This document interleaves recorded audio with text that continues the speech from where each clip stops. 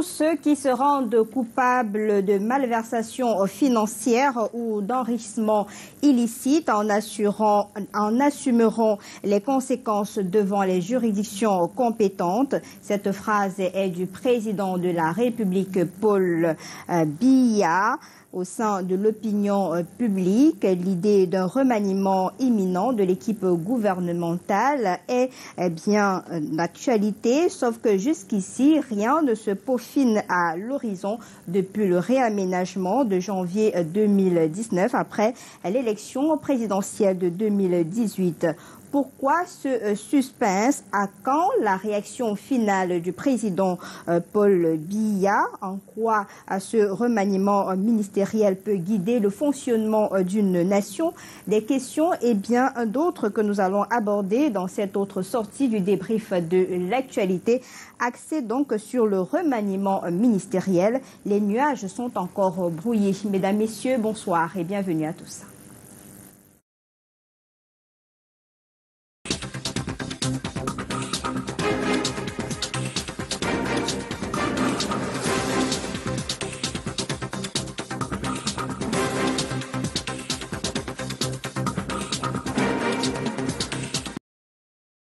Évoquer justement ce remaniement ministériel très attendu au Cameroun. Nous avons euh, sur ce plateau un journaliste spécialisé des questions euh, politiques, Alain Dipou, qu'on ne présente plus. Bonsoir, bonne année et bienvenue sur le plateau.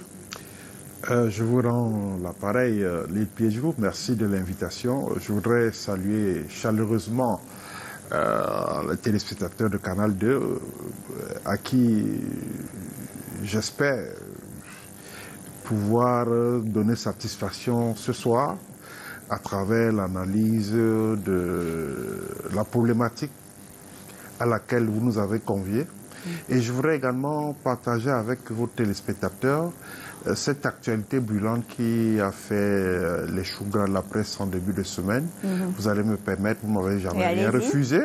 Euh, c'est de, partager un peu cette information du côté de Njombe Penja, mhm. où il y a une certaine situation qui appelle l'arbitrage des autorités administratives, l'arbitrage même du chef de l'État, puisqu'on parlait de maniement. Mhm. Même dans des querelles foncières, on interpelle le chef de l'État. Vous, vous voyez de quoi je veux parler. et donc, c'est pour dire que, effectivement, de ce côté-là, euh, les, tensions sont un peu vives. Il y a une certaine collectivité qui revendique des droits de propriété sur euh, les terres qu'occupe la PHP, les plantations de Openja. Et euh, pour la PHP, ce n'est pas judicieux une telle revendication parce que euh, elle attend que l'État lui montre son nouveau bailleur parce qu'elle estime que c'est avec l'État qu'elle continue de traiter. Et donc finalement on ne sait même plus euh, en, fonction des arguments qui sont soulevés de part et d'autre, on ne sait plus finalement quelle est la réalité de la situation de ce côté. il est temps qu'on clarifie à travers euh, des précisions du MINCAF, ministère des Domaines et du Cadastre et des Affaires foncières, mhm. et même un C'est une actualité certainement que vous avez suivie en tant que journaliste. Peut-être on aura l'occasion de revenir sur ce plateau pour évoquer euh, cette problématique. D'ailleurs que euh, la problématique euh, foncière a été vue aujourd'hui au niveau du Premier ministère du côté de Yaoundé, dont on aura l'occasion de revenir là-dessus. Et merci de m'avoir accordé ce moment pour en parler. Je ne peux rien vous refuser. Vous êtes mon grand frère, en tout cas. Albert Ribonguet, homme politique, militant très engagé du PCRN. Bonsoir et bienvenue sur le plateau. Bonsoir Lille, bonsoir Alain, bonsoir au milieu de téléspectateurs de la chaîne Canal 2. C'est un plaisir, c'est la première fois que vous êtes sur ce plateau. Tout à fait, c'est la première fois que euh, je suis accueilli dans ce magnifique plateau pour pouvoir euh, débattre de l'actualité que vous avez bien voulu euh, mettre sur la table des débats. C'est un plaisir pour le Parti camerounais pour la réconciliation nationale de participer à ces échanges-là. Mhm. Et comment va le PCRN Non, le PCRN se porte très bien. Euh, nous sommes toujours dans notre dynamique de déploiement sur le terrain. Le maillage continue, mais il faut aussi euh, relever hein, la dernière sortie épistolaire du président national, euh, l'honorable Cabral Libi, mhm. qui apportait son soutien comme ça aux enseignants et qui demandait aux autorités, aux, responsables de pouvoir prendre des mesures effectivement pour euh, mmh, que ces compatriotes-là ou bien que ce corps de métier puisse retrouver ses lettres de noblesse. Et ce sujet a d'ailleurs été débattu sur euh, le débrief de l'actualité. Nous attendons sur ce plateau euh, dans quelques instants Yam Timba, il est analyste politique, mais aussi Samuel Dieudonné Motte, député de la Nation du RDPC. Tous ont donné leur accord, on espère les avoir euh, d'ici là. Alors je commence par vous, Alain Ndipou. L'élection présidentielle en 2018, il y a eu un réaménagement avec un petit de chaises en 2019. Jusqu'ici, rien. Comment est-ce que vous, qui traitez des questions politiques, vous appréciez euh, cette situation? Bon, l'île Piège, vous avez parfaitement raison de remonter un peu l'horloge du temps. Euh, parce que le dernier réajustement ministériel remonte à, la période que vous avez indiquée. Mais je crois pouvoir dire sur ce plateau que rien je dis bien, en termes d'arsenal juridique, euh, rien ne, dit, n'oblige le président de la République à remanier. Il est de sa discrétion de, penser remanier. Ça, il faut le dire clairement. Mhm. Parce qu'il ne faut pas que les gens confondent. Parce que c'est une obligation Non, non, il n'y a pas d'obligation pour le président de la République de remanier à tout va. Il, euh, il a ses motivations, il a son recadrage là, c'est l'horloger. Donc il a son timing qui lui sert. Ça c'est clair. Maintenant, ce qui nous intéresse, nous, de l'opinion, c'est en fait ce trop long silence. Parce que euh, le président de la République nous a habitués à, des usages. Vous savez très bien que au sortir des consultations électorales, notamment les législatives et les municipales, où on, a la possibilité de, jauger les capacités d'implantation des partis politiques euh, sur le terrain. Euh, Monsieur Bia nous a toujours habitués à, des réajustements du gouvernement, des euh, remaniements ministériels. Et donc, on est sorti carrément de cette logique cette fois-ci. C'est pour ça que l'opinion a une certaine il y a une certaine faiblité dans l'opinion et même dans le sérail parce que les gens se disent à tout moment euh, dit peut envoyer le texte, mhm. euh, le fameux texte tant attendu. Mhm. Et ça, c'est d'un des deux. Il faut noter également que euh, c'est difficile de décoder convenablement le style de monsieur le président de la République. Mhm. Euh, vous savez, c'est un monsieur qui vous déroute lorsque vous êtes sur ces, petits secrets, mhm. lorsque vous attendez tout de lui, il vous prend au dépourvu. Et, je pense que c'est ça sa méthode, c'est la méthode BIA, c'est-à-dire prendre tout le monde au dépourvu lorsque vous vous attendez le moins.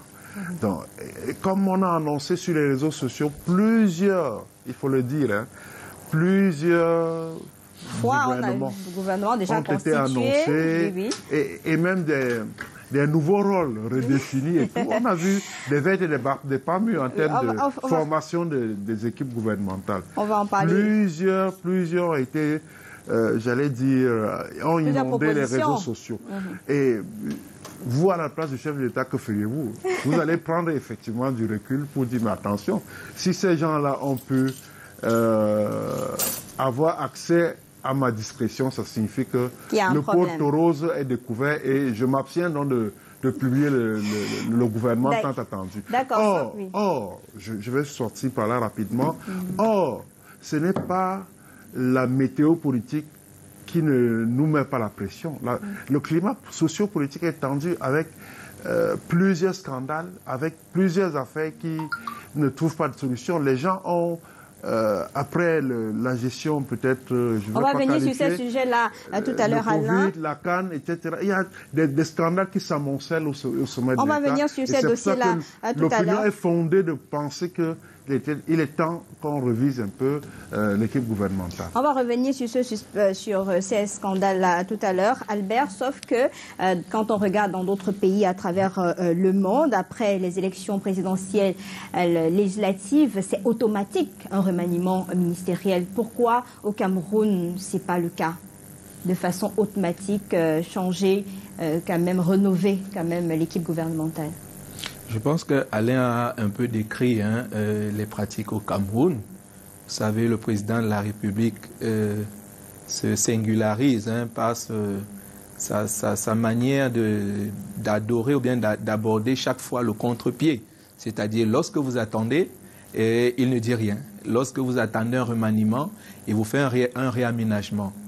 Donc, euh, effectivement, c'est une manière de gouverner, c'est une approche propre à lui. C'est peut-être ce qui fait sa particularité. Est-ce que c'est son charme? Les questions demeurent parce qu'effectivement, euh, il faudrait interroger euh, l'approche qu'il met en place avec les résultats obtenus. C'est-à-dire, est-ce que son silence ou bien son contre-pied ou bien son réaménagement qu'il fait en lieu et place d'un remaniement en bonne et due forme, est-ce que ça nous amène au résultat escompté? Je pense que euh, chaque Camerounais hein, a, la latitude de se faire son opinion sur la chose. Mm. Maintenant, il faut se rendre à l'évidence que le fonctionnement du, jeu politique au Cameroun euh, n'est pas, pas comme partout ailleurs. Hein. Il a ses réalités. Et on a beau décrier, on ne connaît pas le, le, programme politique, les objectifs assignés aux uns et aux autres. Euh, ils ne sont pas clairement définis, sinon ils sont dans des généralités qui font que on ne peut pas savoir à quel moment exactement euh, on doit évaluer l'action d'un responsable qui est mis, qui est mis en marche, à quel moment est-ce que euh, l'on peut penser à un éventuel changement? Donc, on navigue un peu dans une sorte de flou, mais cela ne veut pas dire que euh, ça n'a pas d'efficacité. D'accord. Il y a un, on a un, maître dans le, dans le navire Cameroun, mais euh, il faut quand même se rendre à l'évidence qu'il y a des choses à faire et que le silence n'aide pas tout le temps à, à, garder la sérénité lorsqu'on voit comment les choses évoluent. On est un peu serein sur ce plateau puisque finalement, euh, Samuel Dieudonné Mott est là, député de la Nation, RDPC militant convaincu, convaincant. Bonsoir et bienvenue. Bonsoir. Finalement, les téléspectateurs vont penser que vous êtes un habitué du retard. Hein. Ah non, non, j'avais une réunion de coordination euh, à faire relativement à la communication des DPC, je m'en excuse.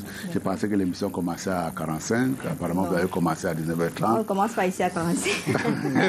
c'est un plaisir. C'est ce que nous sommes dit aujourd'hui. On a dit que l'affiche, l'émission commence à 18h. Sur l'affiche, c'est 18h30, 19h40. Et les D'accord, très bien, je, m'en excuse. Je Alors, je vous prends directement avec la thématique du jour. Au Cameroun, l'actualité euh, présentement, c'est le remaniement ministériel très attendu. Qu'est-ce qui se passe, qu'est-ce qui se dit au sein du Rassemblement démocratique du peuple camerounais? Rien. Pourquoi? Absolument rien. Parce que, écoutez, il y a un certain nombre d'attentes qui sont exprimées ici ou là. On ne les exprime pas nécessairement parce qu'on appartient à un parti politique. Très souvent, les citoyens peut-être sont de plus ou moins demandeurs d'un remaniement ministériel sur les critères qui se fixent eux-mêmes mais il faut également, il ne faut pas perdre de vue que ce remaniement ministériel-là, il aura certainement la signature d'une seule personne, une seule personne qui est le président de la République, qui sait à quel moment il doit le faire. Les gens sont demandeurs d'un remaniement ministériel parce que dans cela, dans, cette entreprise-là, dans cette demande-là, qui sont plus ou moins diffuses, qui sont exprimées ici ou là, chacun a son point de vue. Hein. Chacun a son intérêt là-dedans, chacun a un élément sur lequel une attente qui se fixe euh, et donc, Sauf que la, construction d'une nation passe également par un remaniement ministériel. Et, donc, il y a eu des élections, automatiquement, il faut renouveler. Euh, je, ne suis, je ne suis pas sûr que la plupart des gens qui sont demandeurs de remaniement ministériel aujourd'hui, qui aspirent à un remaniement ministériel, ont uniquement pour celle viser cette reconstruction-là de la nation. Parce que qu'est-ce qu'il vous dit Qu'est-ce qu'il vous dit Il vous dit qu'il faut disqualifier les gens qui sont en poste en ce moment dans le cadre d'un objectif comme celui-là que vous fixez, qui est un objectif nouveau par ailleurs, qui est celui de la reconstruction de, la, de de la nation parce qu'on n'a pas été détruit jusque-là. Mais en réalité, comme je vous disais tout, euh, à l'heure, les gens, pour des raisons multiformes, peuvent être demandeurs d'un remandement à un moment donné. Le problème, c'est que la seule personne, effectivement, qui sait qui doit répondre de la composition d'un gouvernement, la personne qui, soit, qui sait qui doit répondre tôt ou tard des attentes plus ou moins manquées, réussies, euh, je veux dire, euh, contrariées à un moment donné, c'est la personne qui a été élu dans le cadre d'un suffrage universel qui a été exprimé. Et donc, on va lui laisser le temps nécessaire pour qu'il lui-même il sa propre appréciation. Ça se pourrait également que les gens qui, en toute objectivité, demandent aujourd'hui, comme vous l'avez formulé, en disant que cela serait incapable d'assurer la conscience de la nation, il y a une vision, une information totalement différente. Et dans le cadre de ce qui se passe, dans le cadre de la de la responsabilité qui est la sienne, à savoir effectivement quel est le temps qu'il doit prendre pour exprimer un certain point de vue, pouvoir changer un cap il faudra lui donner les ressources nécessaires. Il faudra également tenir compte du fait qu'il a un certain nombre d'informations qui ne sont pas à la portée de, de commun de mortels. et donc son temps sera, le temps sera le sien. Et vous avez vu que il a dit tout à l'heure qu'il n'arrive pas à décrypter la pensée du président de la République. Mais c'est effectivement la densité d'un homme politique également fait que d'un homme d'État fait qu'à un moment donné, il, peut être, voilà, il peut pas être lisible dans son action. Mais à partir du moment où il nous apporte un certain nombre de, de décisions objectives sur la base des éléments qui sont à sa disposition, on s'inclinera et écoutez-moi très bien. Il y a également une pensée qui lui colle à la peau, qui est celui de ce que, là aussi, le temps sait nous apporter des solutions à un certain nombre de problèmes. Donc les problèmes que les gens soulèvent aujourd'hui, il y a tel incident à tel ou tel endroit, il y a tel ou tel, ou tel endroit, il se donnera le temps nécessaire à l'analyse pour pouvoir savoir effectivement qu'en bougeant les pions, il va résoudre les problèmes des Camerounais. C'est vrai qu'on dit Paul Biya est le maître euh, du temps, mais quand vous avez un président de la République qui se met euh, devant euh, sa, population, son peuple, et vous dit tous ceux qui se rendent coupables de malversation financière ou d'enrichissement illicite en assumeront les conséquences devant les juridictions compétentes. Vous avez autour de lui des personnes qui ont déjà fait 10, 20, 30 ans à un même poste. Ce n'est pas l'occasion idoine de s'attendre véritablement à ce remaniement ministériel pour euh, corroborer avec cette déclaration qui est suffisamment grave venant euh, du chef de l'État qui, qui maîtrise exactement ce qui se passe autour de lui. Et pour solutionner un type de déclaration, c'est aller directement à un remaniement ministériel. Alors. Effectivement, vous avez parfaitement raison. L'extrait que vous avez cité tantôt, je crois, si j'ai bon souvenir, euh, date de, son discours à la nation du 31 décembre 2021. Mais il faut aussi remonter le temps pour dire que ce n'est pas la première fois que le chef d'État sonne la lettre. Pour dire, déjà en 2006, si vous vous souvenez, je crois que c'était lors d'un congrès du RDPC, si je ne me trompe, il disait très bien que ceux qui vont attenter à la fortune publique vont rendre gorge. Donc ce n'est pas aujourd'hui, ça ne date pas du 31 décembre, que euh, l'attention est attirée sur euh, les, scandales qui semblent caractériser certains gestionnaires mhm. euh, du pays. Il ne fait qu'attirer l'attention depuis plusieurs années. Et même quand il prend le pouvoir en 82, on connaît bien le triptyque, le, je vais dire quoi, son idéologie de base. rigueur, et moralisation. Mhm. Peut-être euh, qu'avec euh, le recul 40 ans, on peut questionner ce qu'on met aujourd'hui dans la moralisation, ce qu'on met dans la rigueur. C'est questionnable. Mais il faut quand même dire que euh, c'était les notions qui fixaient déjà un certain cap dans une vision précise du management des entreprises, du management euh, de la gestion de l'État. Donc aujourd'hui, on a du mal à comprendre que le promoteur de la rigueur, euh, de la moralisation, soit un peu comme handicapé, soit un peu comme essoufflé dans sa démarche d'assainir, parce qu'il s'agit bien d'assainir les mœurs publiques. Euh, bon, parce qu'on ne sent pas le coup de fouet qu'on attend et qu'on espère depuis là, surtout a fortiori dans un contexte où les scandales ont pillon sur rue. La, gestion de l'État semble ne pas épouser une certaine orthodoxie que l'on pourrait encourager dans, enseigner dans les, universités. Donc, bref, il y a des mismanagements qui posent problème. Et quand l'autorité de l'État, je vais dire le président de la République, euh, passe ça sous silence, on a le sentiment je, précise souvent le sentiment que le pays n'est pas vraiment gouverné. Parce que les gens attendent des, sanctions. Il y a des, situations qui interpellent directement le chef de l'État. Bon, il est dans euh, sa bulle, il ne dit rien. Bon, peut-être on dit euh, c'est le maître du temps, d'accord. Mais le temps, parfois, joue contre nous également. Parce qu'à un moment donné, on a le, le sentiment que tous ces scandales-là, c'est parce que lui-même, il est le chef d'orchestre que ça arrive. Donc il faut qu'il montre patte blanche en disant clairement à l'opinion que, écoutez, j'ai pris le temps de regarder, j'ai donné les instructions, les démarches judiciaires sont en cours. Euh, la vérité sera établie là où elle nécessite d'être établie. Donc, je, je, finis pour dire qu'en réalité, à un moment donné, on a le sentiment que euh, le chef de, l'État a bien conscience de ce que le peuple attend. Mais seulement, il ne veut pas céder à cette pression populaire. il prend tout son temps pour dire, OK, euh, le moment venu, je, sais exactement ce, que, j'ai à faire. Vous n'avez rien à m'apprendre. Alors, euh, Yann C'est cette lecture qu'on peut faire rapidement. Yann Timba, analyste politique, bonsoir, bienvenue. Bonsoir, Madame Piedjouré, merci. C'est un plaisir de vous avoir. Alors, on rentre directement dans, dans, le vif du sujet. La classe politique, l'opinion publique, tout le monde attend euh, le remaniement ministériel avec les scandales évoqués tout à l'heure par Alain, Covid-Gate, Can-Gate, avec toutes les situations vécues actuellement pourquoi est-ce que le chef de l'État ne réagit pas, selon vous? Parce qu'on a l'impression, quand on descend dans la rue, qu'il n'y a que ce remaniement ministériel qui va faire, euh, qui va apporter un souffle nouveau. Pas tout à fait. Je pense qu'on a un sérieux problème. Je ne comprends pas pour quelle raison le remaniement ministériel est une chose aussi importante dans notre pays. Pourquoi est-ce que nous devons toujours réclamer du sang? On va vous dire que c'est pas un sang, que c'est juste qu'il y a des personnes qui sont là depuis des années et puis qui doivent dégager le plancher. C'est pas ça le problème de fond. Vous savez, euh, c'est pas, pas le problème de fond. Le problème, c'est que le peuple est poussé à réclamer du sang parce qu'il a l'impression qu'il y a une impunité, qui règne, que l'impunité règne en maître. Or, on ne devrait jamais se retrouver dans cette situation où on réclame du sang pour calmer le peuple il faudrait plutôt euh, interroger finalement la structure de l'État chez nous. En fait, c'est peut-être ça le problème de fond, et non pas tant le, problème des, acteurs, euh, si vous voulez, périphériques, qui vont subir justement cette espèce de guillotine. notre État, euh, structurellement, est anachronique. Et en même temps, c'est un État qui ne correspond pas du tout à nos valeurs traditionnelles. C'est la Constitution qui le dit, ce n'est pas moi. Je crois que ça doit être dans l'article 2 ou tout au moins quelque part dans le chapitre 1er.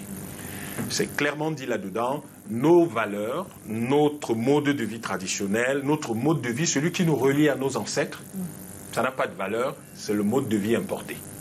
La conséquence, c'est que vous avez en réalité quelque chose qu'on appelle l'État du Cameroun, qui est là, qui vit sur la base des traditions euh, françaises et anglaises, donc globalement des traditions européennes, et qui essaye de gérer des gens, des villageois comme moi, qui vivent selon hein, la manière dont leurs ancêtres ont toujours vécu. Il y a donc une sorte d'incompréhension structurelle entre l'État et le peuple. Pourquoi est-ce que les gens se plaignent du président et ça paraît souvent bizarre qu'on se plaigne du président? Mais au moins formellement, c'est lui qui est élu au moins Le chef de l'État. C'est lui qui est élu pour diriger le pays. Et donc, lorsque nous avons deux ou trois ministres ou deux ou trois directeurs généraux ou deux ou trois fonctionnaires qui commettent des gaffes, au fond, le responsable principal, ça ne veut pas dire qu'il est le coupable, parce qu'il faut distinguer ces choses-là. Si vous allez voler et vous pensez que comme le président vous a nommé, c'est lui le coupable, non, attention, c'est vous le coupable. Mais le responsable politique, public, historique, c'est le président de la République. Parce que, au fond, chaque fois qu'il est élu, un président est élu pour un mandat, toute l'administration l'accompagne. Et il est donc responsable, c'est-à-dire que c'est lui qui répond des actes de cette administration. Et du coup, lorsque nous avons les contre-pouvoirs qui ne font pas nécessairement leur travail, il y a un problème. Parce qu'aujourd'hui, la question est de savoir, de tous ces scandales qu'évoque le peuple, de combien de scandales un scandale ne veut pas nécessairement dire qu'il y a eu quelque chose de mauvais. Hein. Mais n'oubliez pas en droit, euh, qu'est-ce qui définit le crime? C'est la clameur publique. Mm-hmm. Mais lorsqu'il y a clameur publique, après, il peut être établi. Il peut, il peut, on peut arriver à des faits non établis, à un non-lieu. Mais il faut tout au moins qu'on établisse cela. Mm-hmm. Donc, quand il y a cette clameur publique, qu'est-ce que l'Assemblée nationale, le Sénat ont fait? Se sont-ils saisis de ces supposés scandales?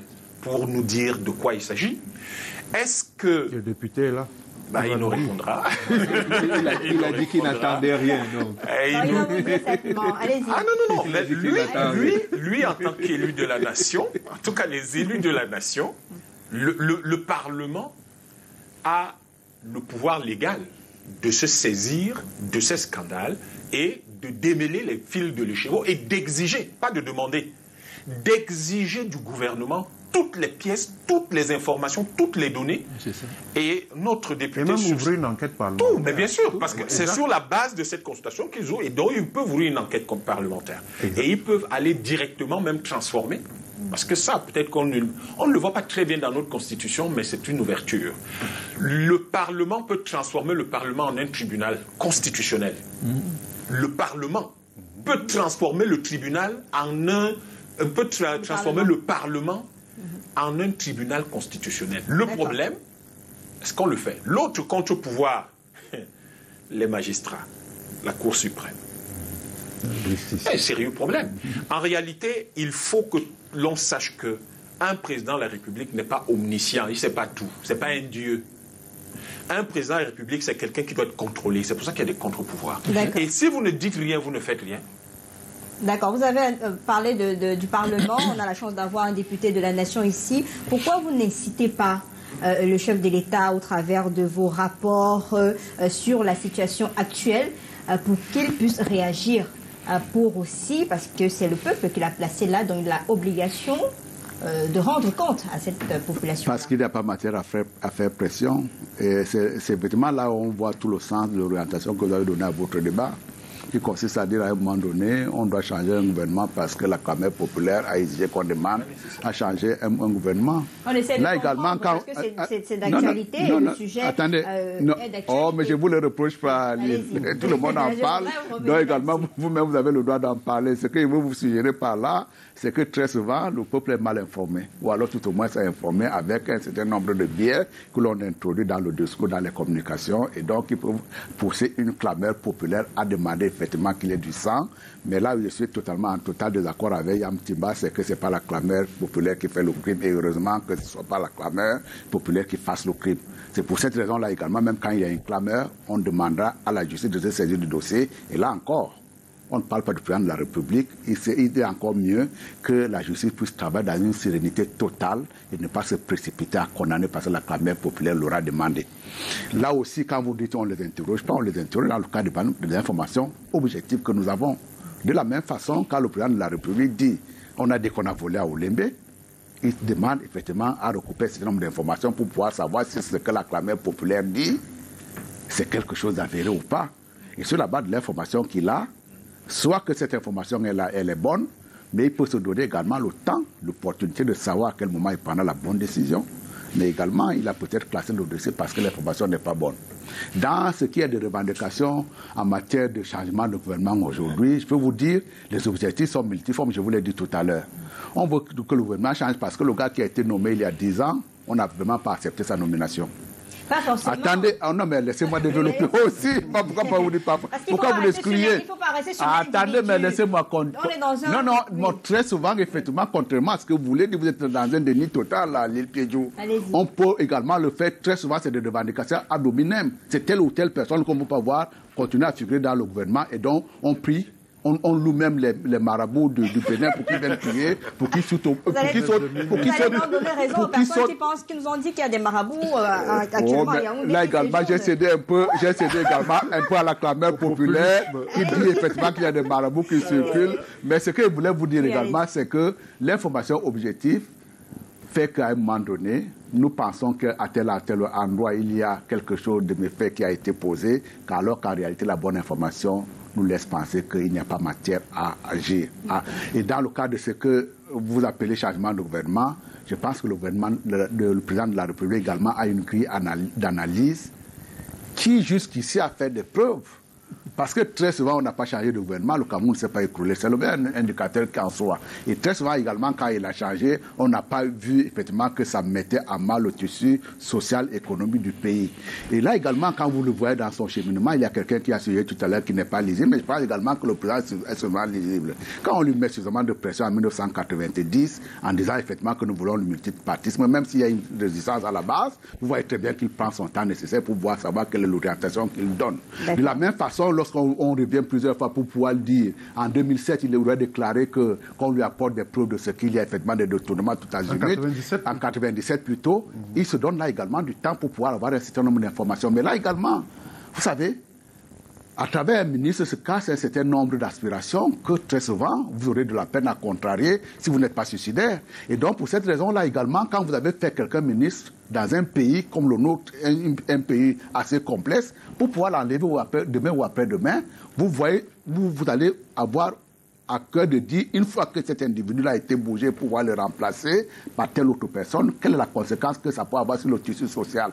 Et donc, pour cette raison-là également, mais là aussi, il faut mettre en balance entre ce que très souvent nous perdons et ce que nous gagnons en faisant en agissant de, telle ou telle manière. Et lorsque la balance elle est équilibrée dans un sens ou en disant effectivement que même s'il y a des méfaits, des, faits de corruption, des faits de détournement qui sont avérés à tel ou tel endroit, mais que par rapport à ce que, aux attentes que nous avons, par rapport au travail que nous attendons d'un tel ou tel ministre, on peut accepter à un moment donné qu'il puisse continuer. Mais Albert, est-ce qu'on a besoin de, réfléchir un peu comme le, député de la Nation pour voir les humeurs des individus pour pouvoir euh, euh, mettre un nouveau gouvernement sur pied? Parce que depuis un certain moment, on ne va pas euh, se voiler la face. Il y a des problèmes sur le plan social, sur le plan économique, même au niveau euh, de la politique. Il y a un sérieux problème, même au sein du Rassemblement démocratique du, Cameroun. Il y a des, sérieux problèmes avec une classe euh, politique vieillissante. C'est le moment ou jamais pour un chef de l'État d'agir, surtout qu'il y a des défis qui nous attendent. Vous avez la décentralisation qu'il faut accélérer,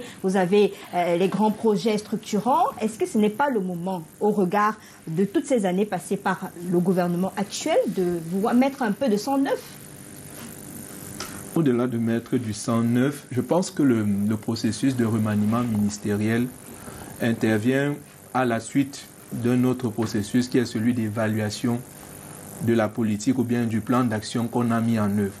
On évalue la politique, on évalue le rendement de ceux qui sont chargés de mettre en œuvre ce plan d'action. Et euh, je ne veux pas simplement que, comme euh, euh, M. Yam et, l'honorable Mott ici pensons, pensent que, que nous pensions que le, remaniement, c'est forcément vouloir du sang. Non.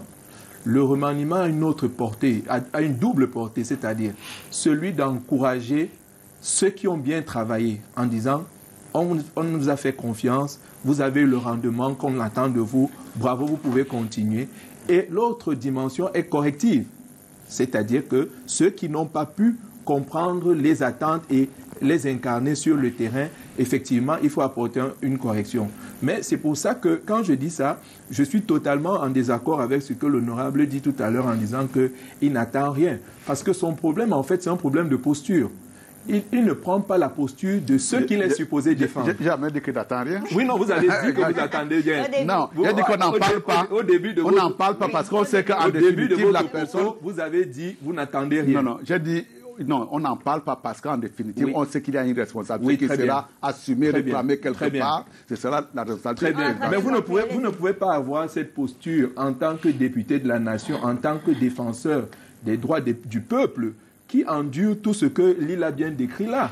Euh, l'inflation des prix dans les marchés, les problèmes avec euh, l'adduction en eau potable, les problèmes d'électricité, toutes ces choses-là. ne peuvent vous qu'il y a 80 milliards qui se voilà, ne peuvent pas vous laisser indifférent en disant que le processus d'évaluation de la politique de l'État ne peut pas conduire à cela. Je pense que de façon logique, si vous avez la posture qui doit être la vôtre, parce que vous êtes un député, je pense que vous devez avoir une autre approche dans cette chose. Vous avez tout à l'heure dit qu'il n'est pas nécessaire de mettre la pression. Effectivement, vous, vous avez très bien aussi soulevé que lorsque la pression a été mise dans certaines circonstances au président de la République, il a pu réagir. Prenons un cas simple. Nous avons le, le rapport de la Chambre des comptes qui résulte d'une pression mise par les bailleurs de fonds qui demandaient des comptes pour savoir qu'est-ce qu'on a fait de l'argent de la Covid. D'accord? Et ce rapport a été fait et il a établi des manquements graves qui ont peut-être amené le chef d'État à prononcer cette phrase, cette formule que Lille a, prononcée ici d'entrée de jeu en disant que ceux qui se seraient rendus coupables pourraient rendre gorge. Donc moi je veux simplement dire qu'il faudra un moment ou un autre que l'on abandonne les casquettes politiques partisanes de défense des individus pour se mettre à un moment aux côtés du peuple. Parce que si on se met du côté du peuple, on se rend effectivement compte qu'il y a des actions à mener, on se rend, on se rend compte qu'il est urgent d'agir. il est urgent que l'évaluation des différents programmes soit faite et il est urgent qu'on apporte correction parce que, euh, comme l'a dit l'un de votre camarades, pour ne pas le citer, mais Sanga dit, mais on n'en peut plus avec la vie chère. D'accord. Alors, est-ce que ce n'est pas parce que ce septennat qui est en cours est l'un des plus délicats pour le président de la République pour que jusqu'à ce jour, qu'on n'ait toujours pas euh, une nouvelle équipe ou alors un réajustement aussi, un peu comme les années antérieures Monsieur Yamtimba a parlé de la justice. On a évoqué le Parlement. Ça m'a fait sourire un peu parce que euh, dans les pays normaux, normalement bien constitués, vous dire que le Cameroun est très normal. Non, non. Comprendre qui pourra. Donc, dans les pays bien constitués, la séparation des pouvoirs est claire et nette. Je vous assure que dans ce pays, euh, je parle sous le contrôle du député qui est assis là. Le RDPC est majoritaire au Parlement. Mais est-ce que vous avez déjà vu une proposition de loi prospérer là-bas? Jamais. Vous ne verrez jamais. Donc pour dire quoi? Pour dire que c'est le président de la République qui donne le ton et le là. Que ce soit en matière de légifération, que ce soit avec la justice, vous savez très bien que l'opération épervier a été instruite par le président de la République. Et c'est lui qui donne l'orientation. C'est lui qui dit, OK, allez. On déclenche. Donc, pour dire quoi? Pour dire que. Ce qui est dommage. Hein, justement, c'est pour ça que je disais que si nous étions dans un pays normalement bien constitué, chaque pouvoir, chaque, euh, oui, chaque pouvoir aurait la latitude d'ouvrir des, dossiers relativement à, à, ce dont nous parlons, les scandales. Le, la justice, on l'a dit, pouvait bien s'auto-saisir de ces affaires-là le Parlement également, mais ils ne feront rien tant que le chef de l'État n'a pas donné son mention. Le de la Cour suprême hier où euh, le président a euh, décrié justement ça dans les différents discours de la. mais il faut acter. Le tout n'est pas de, décrier. Il faut acter. Il faut implémenter. Passer du discours à la pratique, à la mise en œuvre. C'est de ça qu'il est question. Et, je, suis, je suis conforté dans cette posture que j'ai effectivement le sentiment que oui, tout le monde attend le président de la République. Même dans les querelles de, de, bas étage, on attend le président de capable de se prononcer. Est-ce qu'on habitue le peuple avec... Ah oui. Euh, euh, à chaque fois, on, met, on, met le, on, sollicite l'arbitrage du chef de l'État, même dans des affaires aussi basiques. Et donc, ça veut dire que le présidentialisme, notre système-là, il est véritablement fort. Et ça fait que euh, ce présidentialisme est source d'inertie. Les gens ne, ne veulent plus rien, on attend de tout du chef de l'État. Tout. Vous avez, y compris dans le fameux remaniement. Et cette attente-là, justement, IAM, a un impact psychologique sur euh, l'action ministérielle au regard de ce qui se passe, par exemple, du côté de Yaoundé ces derniers moments. Vous avez des responsables qui n'arrivent pas à travailler euh, parce que euh, on se demande si je commence ce dossier aujourd'hui, est-ce qu'au 17 ça va pas, ça va pas bouger? Est-ce que, est-ce que du coup il y a carrément les gens sont sclérosés. Les gens sont sclérosés. Tout à fait. Non, les gens ne devraient pas avoir cette attitude parce qu'ils sont nommés quand ils sont, il y a des attributions très précises de chaque ministère. Ça, au moins, je crois que ça existe au Cameroun. Le, le, problème avec notre pays, je vous l'ai dit, c'est la structure de notre État. Lorsque vous avez un président qui justement pense qu'il doit prendre son temps, mais vous n'avez pas à prendre votre temps, monsieur. Les gens ne vivent pas à la, ne vivent pas à la vitesse de votre pensée. Bah les gens, il y a une vie de la nation Tout à fait. qui ne dépend pas de vous. C'est-à-dire que la fonction présidentielle n'est pas, n'est pas une histoire d'individu, de personne. C'est une fonction et vous devez l'assumer, Madame mm. Mais on ne veut pas savoir si vous êtes contente ou vous n'êtes pas contente. Faites votre travail de journaliste. C'est tout. Le président, qu'il pense qu'on l'aime, qu'on ne l'aime pas, qu'il soit content, qu'il ne soit pas content, il doit faire son travail de président. Et son travail de président veut dire qu'on n'attend pas les évaluations, il les fait régulièrement. C'est pour ça qu'il est là, il supervise. C'est son travail. C'est son boulot. Maintenant, s'il ne peut plus le faire, eh ben, quelqu'un d'autre voudra bien le faire à sa place. Ça, c'est une chose. Une deuxième chose, mais le président doit rendre compte. Quand vous avez, vous avez désormais la bonne information, il faut qu'on aille chercher une boule de cristal pour savoir quelle est la bonne information. Son boulot, entre autres choses, le président de la République est essentiellement un chef de projet. Parce que le mandat a un début et une fin. C'est-à-dire qu'il est essentiellement un chef de projet. Et en tant que chef de projet, c'est une méthodologie connue. L'essentiel de son boulot, c'est la communication. C'est de rendre compte. C'est de dire on est à tel niveau. On a évolué comme ça. Le Cameroun a une particularité extraordinaire où vous avez un type qui n'est pas élu qui vient vous lire le programme culturel, économique du gouvernement. Qui vous a élu Pourquoi vous en parlez? Non, je suis le Premier ministre. Vous n'êtes pas élu. Vous n'avez pas à parler de ça. C'est le président de la République. Et ça encore, allez voir dans la Constitution, c'est ça. Ce que le Premier ministre fait là tous les jours, c'est anticonstitutionnel. Et moi, je vous parle de la Constitution. Je suis pas, moi, je ne suis pas sur les pratiques. Il faut, ne confondons, ne confondons pas les pratiques et la Constitution. Dans la Constitution, il y a quelqu'un qui définit la politique. C'est bien le président. vous ne pouvez pas définir une chose et la faire défendre par quelqu'un d'autre. Il y a quand même un problème. vous devez venir, comme c'est vous qui la définissez, vous devez venir la présenter et la défendre. Et l'essentiel du travail d'un président de la République, c'est de rendre compte. C'est de dire, j'ai été élu, vous m'avez élu sur la base de, ceci. Je suis à tel niveau, hmm. je suis à tel niveau, je suis à tel niveau. Donc il n'a pas à prendre son temps parce que nous, nous n'avons pas le temps. Nous voulons vivre et quand les gens veulent vivre, ils vivent sur la base, à la fois, si vous voulez, le président doit faire la synthèse des attentes et les mouler. C'est pour cette raison parce qu'il justement il prend son temps, que les ministres ont l'impression qu'il faut qu'ils attendent que le président leur dise. Mais pourquoi il n'y a pas de proposition de loi? À la limite, on peut le comprendre parce que le parti étant majoritaire, en fait, on estime que le parti gère les choses et fait introduire des lois par le gouvernement. Mais au bout du compte, il y a quand même un problème.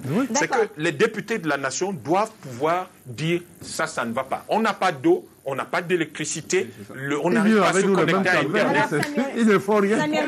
C'est bizarre. Poser des questions. Je, voulais, je, voulais, je voulais dire à ce qu'il a dit tout à l'heure.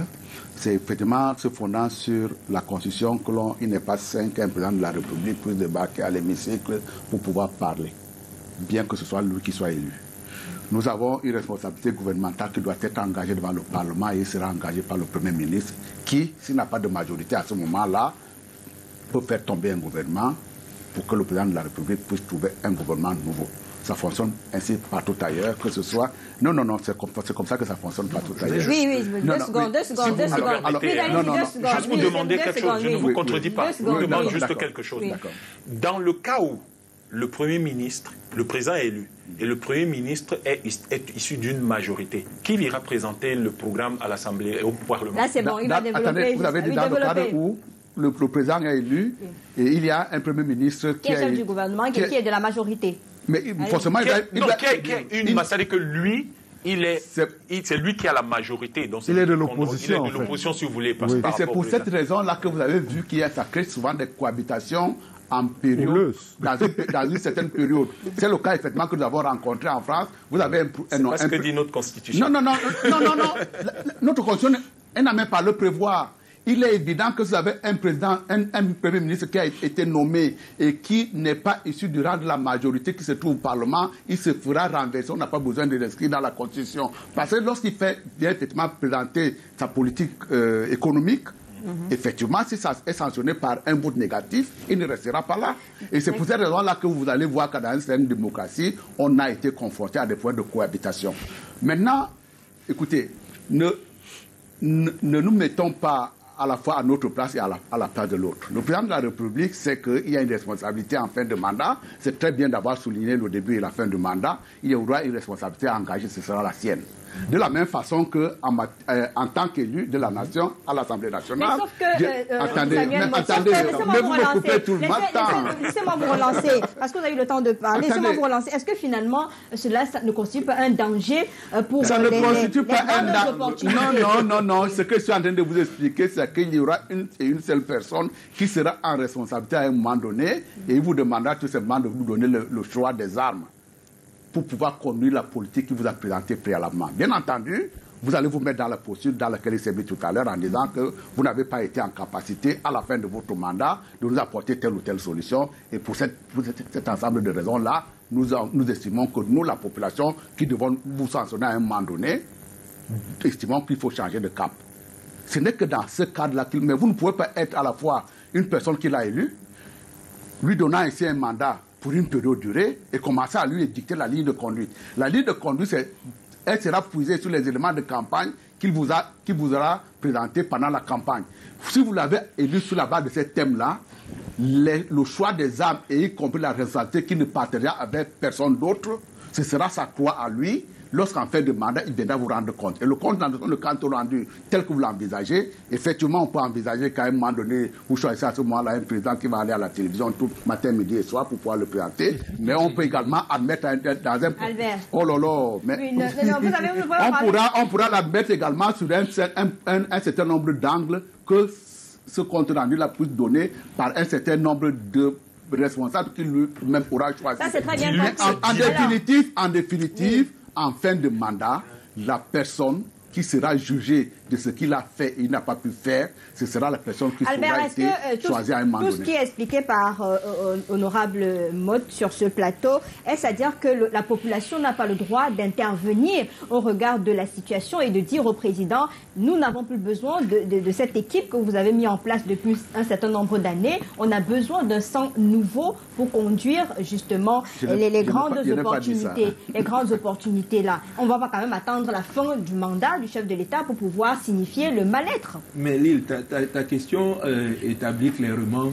euh, la position des députés euh, RDPC de la majorité présidentielle qui ont pris sur eux de se fermer les oreilles, ah de n'avoir aucun autre, aucun autre écho, de, tout projeter sur le, le, mandat qu'on a reçu au début et d'attendre la fin du mandat pour que les gens se prononcent. Mais ce cas de figure aurait encore pu être acceptable si euh, effectivement ce C'est le cycle républicain qui est comme oui, ça. Oui, non, je, suis très d'accord avec vous. Bah, mais si on était dans un, dans un cycle véritablement républicain, il est, il est républicain. Si, les mécanismes, si les mécanismes de choix étaient, il est républicain. Non, non, je, si les mécanismes, si les mécanismes de choix, non, non, non, il n'y arrivera pas. Si les mécanismes de choix étaient tout à fait légitimes, vous avez, euh, vous avez un système électoral où effectivement il y a une personne qui crée la loi électorale, il y a une personne qui nomme le juge du contentieux, de celui qui, qui, proclame les résultats. Et comment voulez-vous que l'on puisse parler d'un système sincère, intègre qui rend euh, euh, euh, en, réalité compte de la réalité du terrain? Moi, je dis qu'il y a des choses à questionner. Effectivement, la vie d'une nation ne se limite pas à l'octroi d'un mandat et à l'attente de sa fin. Il y a une vie intermédiaire, il y a des réalités que le, terrain nous renvoie. Et c'est le travail des députés de renvoyer le son des cloches de leur population. Élus de la nation. En tant qu'élus de la nation, il y a aussi les maires qui, dans un niveau local, font aussi le même travail, mais que euh, euh, le, député monte ici euh, occulte totalement ce rôle qui est le leur et qui nous disent qu'il y a eu un mandat qui est arrivé qui était au début et il faut attendre la fin pour dire ce qu'on va faire. Moi, il faut simplement Mais la prochaine fois, je demanderai quand même à, ce qu'on me donne un peu de temps pour parler. Oui, non, vous avez le temps de parler. il faut simplement, aussi à l'heure, il, faut simplement que les uns et les autres vraiment reprennent au sérieux leur fonction et revoient exactement quel est leur rôle dans cette nation parce qu'il y a des problèmes à résoudre et l'on compte sur les députés tels que vous pour essayer de les résoudre. Alain, pour avancer dans, dans le débat, est-ce que euh, finalement ce n'est pas l'opération épervier qui pourrait déclencher euh, finalement ce remaniement ministériel comme tel qu'on l'a lu même dans la presse euh, depuis lundi Vous savez, l'opération épervier avait été saluée par non seulement les analystes politiques, les observateurs de la scène politique, des étrangers et tout et tout. Parce que, en fait, l'objectif était véritablement d'assainir les mœurs publiques. Parce qu'il y avait comme un laisser-aller dans la gestion des affaires. Et malheureusement, euh, lorsque cette opération est lancée, je crois autour des années 2010, si je ne m'abuse, on a tout fait de greffer une dimension d'épuration politique là-dedans. Et ça a dévoyé un peu le contenu, de, le même le bien fondé même de cette opération.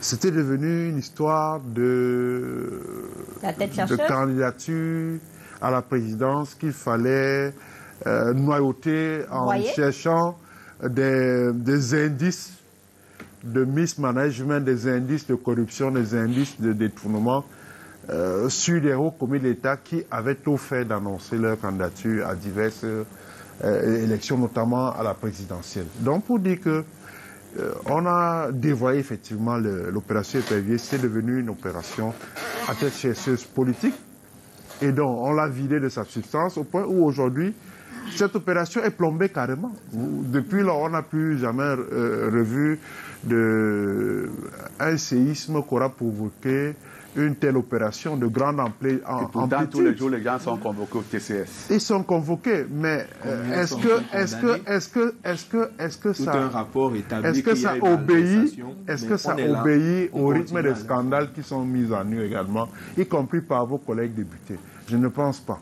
J'ai le sentiment. non, on ne va pas citer le nom des gens sur ce plateau. Ils sont pas là pour répondre. C'est vertueux. Allez-y. s'il vous plaît. Non, monsieur Maud, je ne veux pas dire qu'il est de mauvaise foi, mais il sait bien de qui il parle.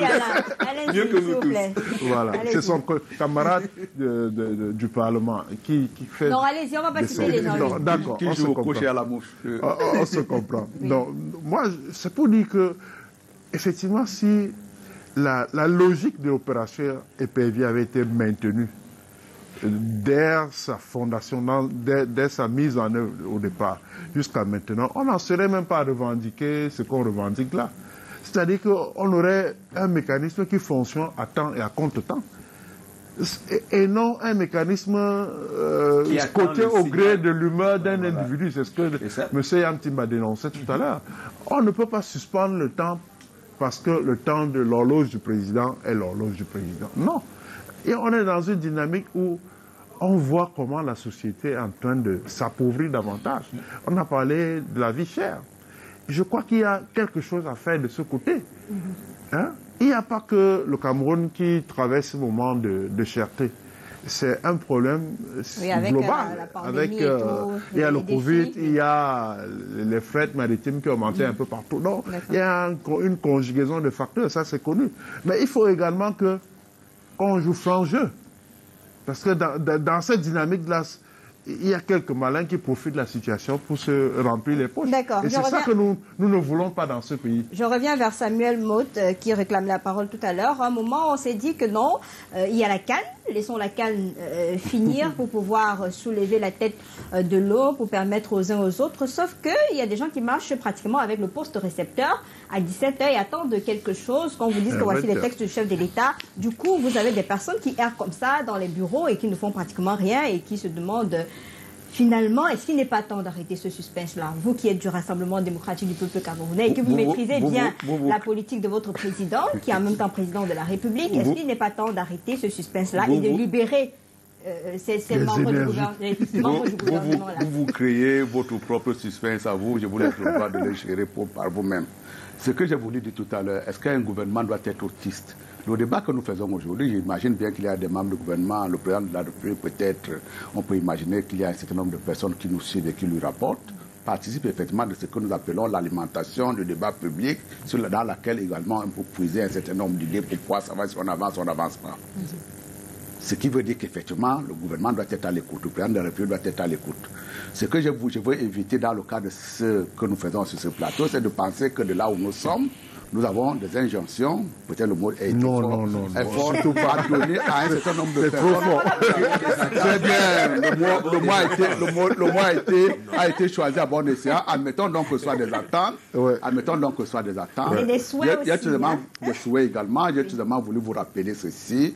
Dans le cadre effectivement des mandats que nous recevons, il ne s'agit pas uniquement des mandats politiques nous demanderons pour pouvoir avoir un par souci d'efficacité que l'on nous laisse la latitude d'avoir le choix des moyens pour qu'on puisse être jugé une fois que la mission est accomplie. Et la cadence républicaine, elle, elle est ainsi faite. D'accord. À partir du moment où vous avez reçu un responsable, vous allez alimenter certainement le débat public sur ce débat-là, il prendrait un certain nombre d'éléments qu'il considère pour sa part comme étant valables, pertinents dans le cadre de la mission qui est la sienne, les intégrer dans sa propre démarche pour pouvoir savoir s'il a des, bonnes décisions qu'il prend par la suite.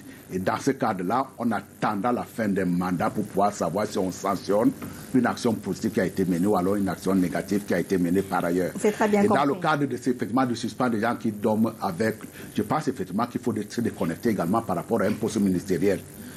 Je considère qu'également pour ma part, qu'être ministre aujourd'hui, c'est, comment dirais c'est plus ou moins une confiance que l'on porte à, une reconnaissance, voilà, de la valeur d'un individu, d'un citoyen camerounais à qui on appelle à une certaine responsabilité et dont lorsqu'on a fait un, un, mois de mandat, un mois de gouvernement, deux mois, trois mois, un an, deux mois, quatre, on peut également être déconnecté par rapport à cela et continuer à travailler sereinement en disant quoi qu'advienne demain, j'aurais rendu service à la République pendant une période donnée et convenablement, je peux passer la main. Merci. Alors, on va faire le dernier tour de table parce qu'on est déjà vers la fin euh, de ce programme. Quelques minutes. Je commence par vous, Yam euh, Timba.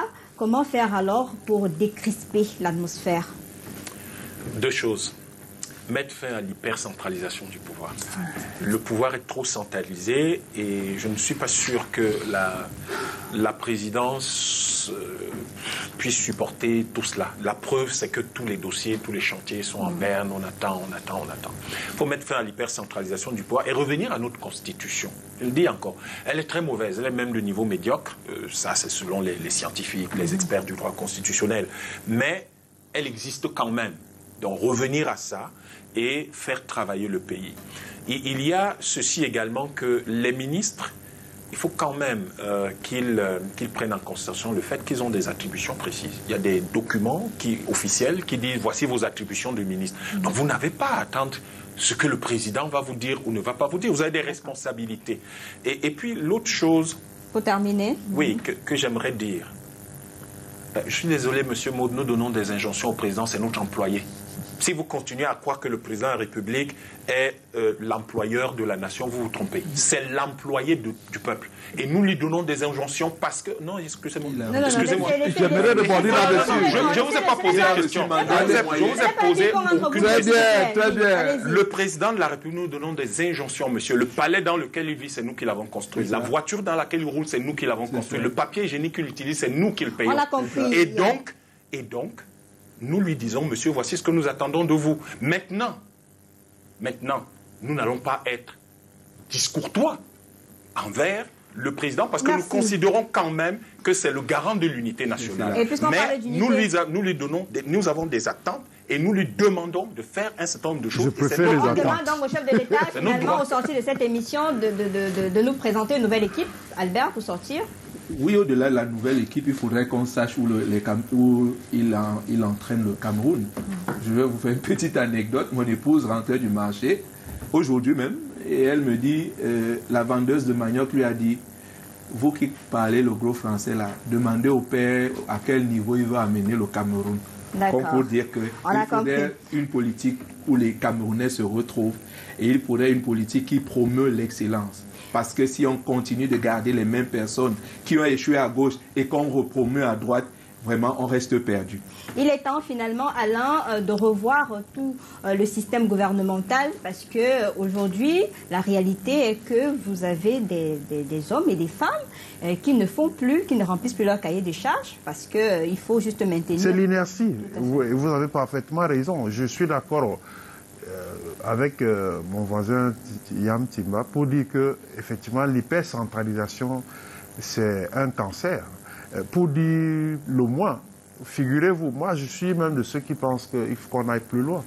Les task force qui se multiplient à la présidence, il faut cesser cette affaire-là. C'est-à-dire que euh, on délègue de manière permanente la signature. Le président de la République, la délégation permanente de signature, là, c'est un couteau à double tranchant. À un moment donné, nous, là, quand on suit très haute instruction du chef de l'État, on ne sait même plus à quel moment, finalement, euh, ça vient du chef de l'État ou bien c'est supposé être de, son plus proche collaborateur. Donc, il faut mettre un terme à, ce genre de délégation permanente de signature qui centralise tout.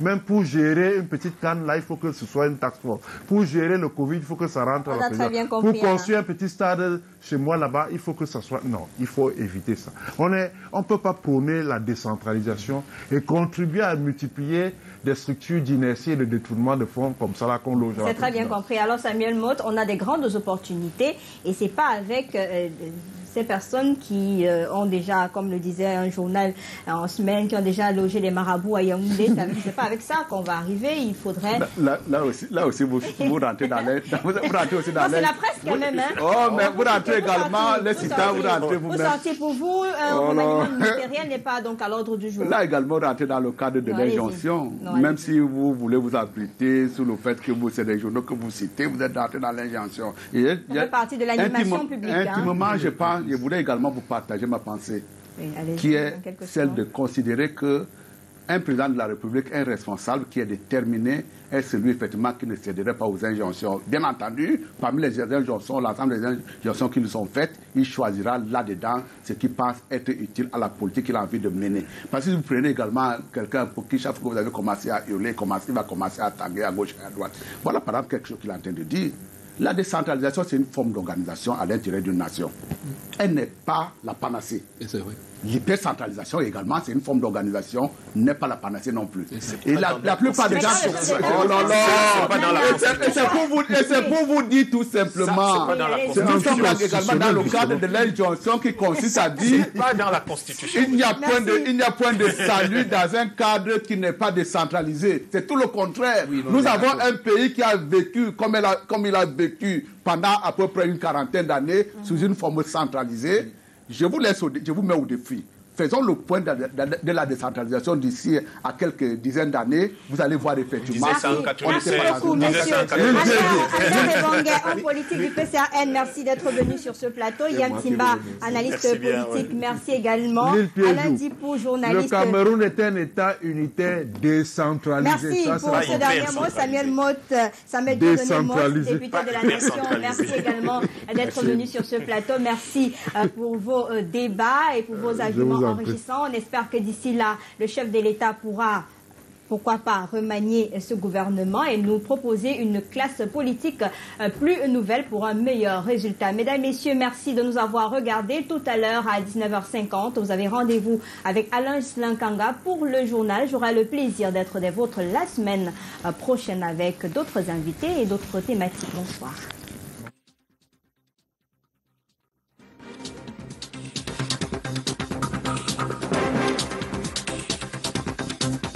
Música